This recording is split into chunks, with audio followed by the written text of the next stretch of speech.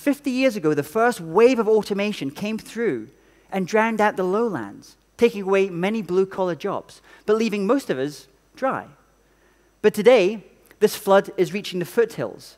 And those knowledge workers, like every single person in this room just now, is going to have to contemplate retreat and trying to get to higher ground.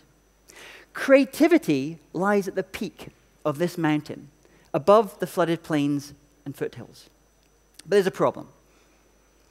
Most people today do not consider themselves to be creative. One study by Adobe found that 60% of the population, when asked, would say they are not creative. Think about that for a second.